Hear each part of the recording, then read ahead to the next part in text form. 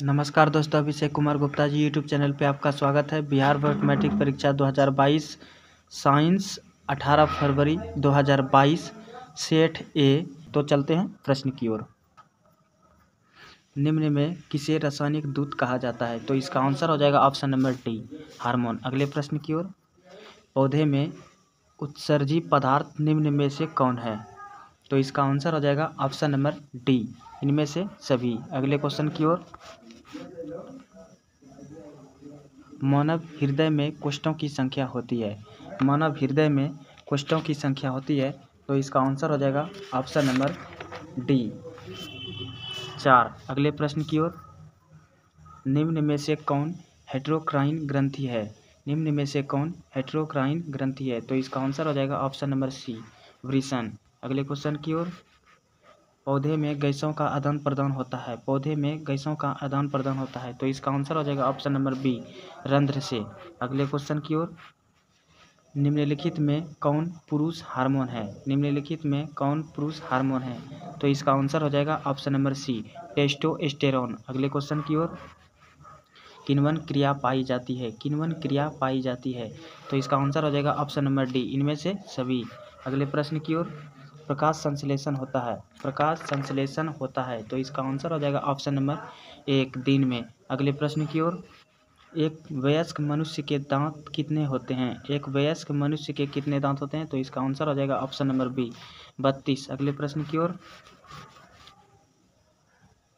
मस्तिष्क उत्तरदायी है। मस्तिष्क उत्तरदायी है। तो इसका आंसर हो जाएगा ऑप्शन नंबर डी। इनमें से सभी। अगले प्रश्न की ओर। ट्रेकिया किस जीव का श्वसन अंग है? ट्रेकिया, किस जीव का श्वसन अंग है? तो इसका आंसर हो जाएगा ऑप्शन नंबर एक, हाइड्रा। अगले प्रश्न की ओर।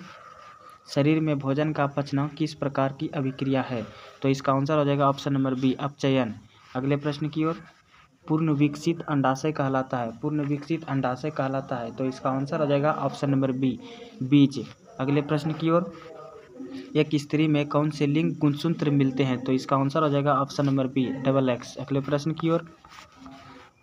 मृतोपजीवी का उदाहरण है। मृतोपजीवी का उदाहरण है तो इसका आंसर हो जाएगा ऑप्शन नंबर एक, अमीबा।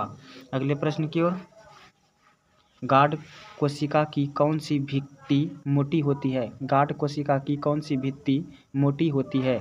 तो इसका आंसर हो जाएगा ऑप्शन नंबर एक, बाहरी। अगले प्रश्न की ओर। वायुमंडल में नाइट्रोजन की मात्रा होती है। वायुमंडल में नाइट्रोजन की मात्रा होती है seventy six, seventy eight percent, six. अगले प्रश्न की ओर। प्रकृति में पृथ्वी पर ऊर्जा का मुख्य स्रोत। प्रकृति में पृथ्वी पर ऊर्जा का मुख्य स्रोत। तो इसका आंसर हो जाएगा ऑप्शन नंबर डी, सूर्य का प्रकाश। अगले प्रश्न की ओर।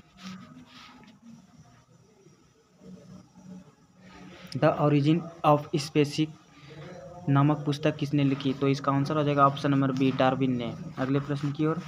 ओजोन के अणु में ऑक्सीजन की परमाणु संख्या होती है। ओजोन के अणु में ऑक्सीजन की परमाणु संख्या होती है तो इसका आंसर हो जाएगा ऑप्शन नंबर सी।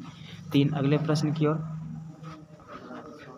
पौधे में प्रकाश संश्लेषण का स्थान है। पौधे में प्रकाश संश्लेषण का स्थान है तो इसका आंसर हो जाएगा ऑप्शन नंबर बी, क्लोरोप्लास्ट। अगले प्रश्न की ओर। परिशोषिका हिस्सा है। परिशोषिका हिस्सा है। तो इसका आंसर हो जाएगा ऑप्शन नंबर एक, आहार नाल का। अगले प्रश्न की ओर। एक खाद्य श्रृंखला में तीसरे पोषी स्तर पर हमेशा कौन रहता है? एक खाद्य श्रृंखला में तीसरे पोषी स्तर पर हमेशा कौन रहता है? तो इसका आंसर आप लोग कमेंट करके बता दीजिएगा। अगले प्रश्न प्रश्न की ओर। निम्न में से, निम्न में से कौन से समूहों में केवल जैव निम्नीकरण पदार्थ है? तो इसका आंसर हो जाएगा ऑप्शन नंबर सी। अगले प्रश्न की ओर। लेटेक्स सामान्यतः कहाँ पाया जाता है? लेटेक्स का सामान्यतः कहाँ पाया जाता है? तो इसका आंसर हो जाएगा ऑप्शन नंबर बी, पीला कनेर में। अगले प्रश्न की ओर। मानव मूत्र में यूरिया का प्रतिशत होता है तो इसका आंसर हो जाएगा option number C, two percent. अगले प्रश्न की ओर। भ्रूण का विकास होता है, भ्रूण का विकास होता है तो इसका आंसर हो जाएगा ऑप्शन नंबर सी, गर्भाशय में। अगले प्रश्न की ओर। निकट दृष्टि दोष में किस लेंस का प्रयोग किया जाता है? निकट दृष्टि दोष में किस लेंस का प्रयोग किया जाता है? तो इसका आंसर हो जाएगा ऑप्शन नंबर एक, अवतल लेंस। अगले प्रश्न की ओर, लेंस की क्षमता मात्रक होता है। लेंस की क्षमता का आशय मात्रक होता है, डायोप्टर। अगले प्रश्न की ओर, एक किलोवाट घंटा बराबर होता है। ऑप्शन नंबर एक, three point six into ten to power six joule. अगले प्रश्न की ओर, प्रकाश का चाल न्यूनतम होता है। प्रकाश का चाल न्यूनतम होता है, कांच में। अगले प्रश्न की ओर। निम्न में से किस लेंस की फोकस दूरी धनात्मक होती है? तो इसका आंसर हो जाएगा ऑप्शन नंबर एक, उत्तल लेंस में। अगले प्रश्न की ओर। लेंस की आवर्धन ऐसा ही मात्रक है तो इसका आंसर हो जाएगा ऑप्शन नंबर सी, मात्रक विहीन। अगले प्रश्न की ओर। किसी अंतरिक्ष यात्री को आकाश कैसा प्रतीत होता है? तो इसका आंसर हो जाएगा ऑप्शन नंबर बी, काला।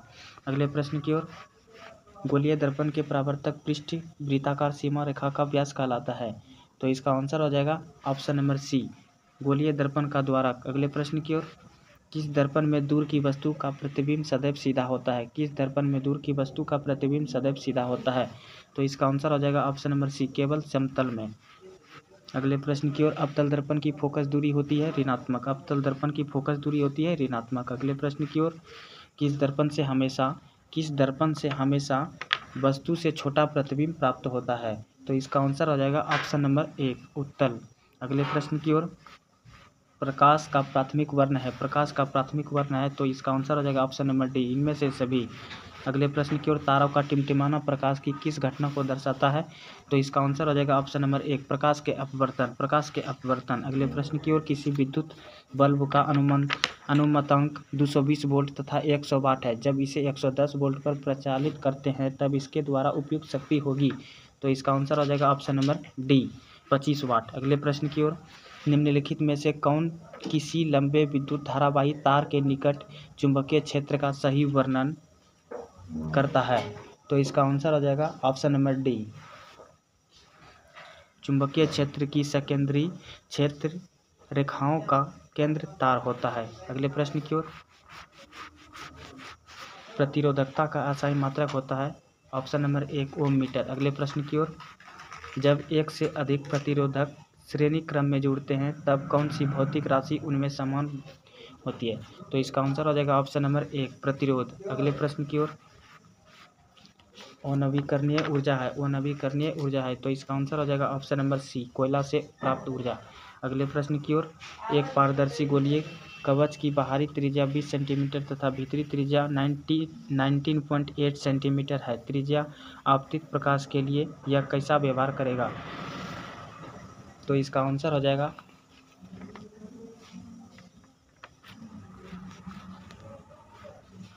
ऊर्जा के दो अनवीकरणीय स्रोत है। तो इसका आंसर हो जाएगा ऑप्शन नंबर सी, कोयला तथा पेट्रोलियम। अगले प्रश्न की ओर।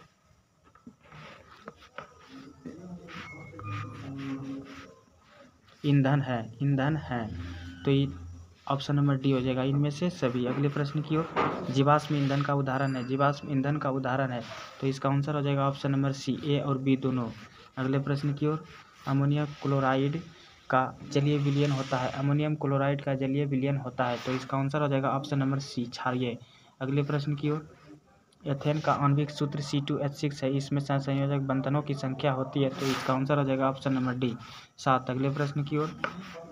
शाल्य चिकित्सा में टूटी हड्डी को जोड़ने के लिए प्रयुक्त होने वाला रासायनिक पदार्थ। तो इसका आंसर हो जाएगा option number C, plaster of Paris. अगले प्रश्न की ओर। किस पीएच मान वाला विलियन सबसे अधिक अम्लीय होता है? तो इसका आंसर हो जाएगा option number C, option number एक। ए, अगले प्रश्न की ओर। एथाइन में कार्बन कार्बन परमाणुओं के बीच कितने संयोजक बंधन होते हैं? तो इसका आंसर हो जाएगा ऑप्शन नंबर डी। चार, अगले प्रश्न की ओर।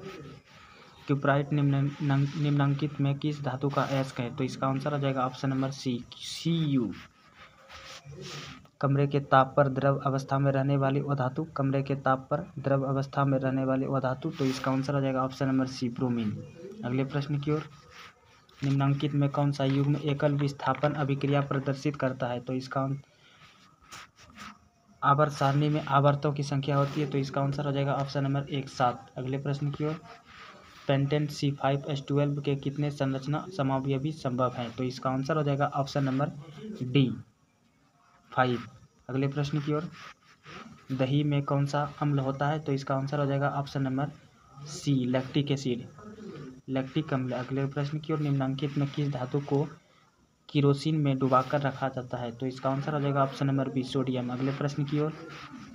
A L four C three के जल अपघटन में निम्नांकित में कौन बनाता है? तो इसका आंसर हो जाएगा ऑप्शन नंबर बी, मीथेन।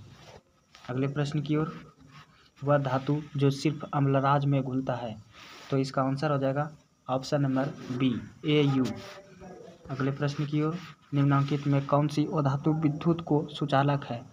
विद्युत का सुचालक है तो इसका आंसर हो जाएगा ऑप्शन नंबर एक ग्रेफाइट। अगले प्रश्न की ओर, बैटरी का अम्ल, बैटरी का अम्ल तो इसका आंसर हो जाएगा ऑप्शन नंबर बी सांद्र एच एन ओ थ्री अगले प्रश्न की ओर, कली चूना का रासायनिक सूत्र, कली चूना का रासायनिक सूत्र ऑप्शन नंबर सी सी ए ओ अगले प्रश्न की ओर आयोडीन युक्त आयोडीन युक्त नमक आयोडीन युक्त नमक तो इनमें से कौन है? तो इसका आंसर हो जाएगा ऑप्शन नंबर तो इसका आंसर हो जाएगा ऑप्शन नंबर एक। अगले प्रश्न की ओर प्लास्टर ऑफ़ पेरिस का रासायनिक नाम। प्लास्टर ऑफ़ पेरिस का रासायनिक नाम कैल्शियम सल्फेट ऑप्शन नंबर एक। अगले प्रश्न की ओर। लौंग तेल किस प्रकार का सूचक है? तो इसका आंसर हो जाएगा ऑप्शन नंबर सी गंती है अगले प्रश्न की ओर। घरेलू गैस एलपीजी का प्रमुख अवयव है। तो इसका आंसर हो जाएगा ऑप्शन नंबर बी ब्यूटेन अगले प्रश्न की ओर। सी सिक्सटी फ्लोरिन की आकृति निम्नलिखित में किसकी, किसके जैसी होती है? तो इसका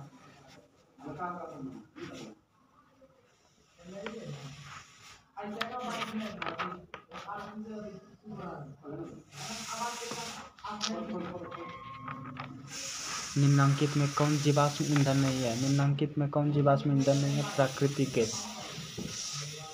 अगले प्रश्न की ओर। टिहरी बाँध निर्माण का उद्देश्य क्या है? तो इसका आंसर आ जाएगा ऑप्शन नंबर डी। इनमें से सभी। अगले प्रश्न की ओर। निम्नांकित में कौन सा तत्व तो आसानी से इलेक्ट्रॉन का त्याग नहीं कर सकता? तो इसका आंसर आ जाएगा option number C M G. अगले प्रश्न की ओर। निम्नांकित में किस तत्व में संयोजी इलेक्ट्रॉनों की संख्या सबसे अधिक है? तो इसका आंसर हो जाएगा ऑप्शन नंबर बी, एल्यूमिनियम। अगले प्रश्न की ओर। तो अगर आपको अच्छा लगा तो चैनल को सब्सक्राइब करें और बेल आइकन को दबाना ना भूलें। धन्यवाद।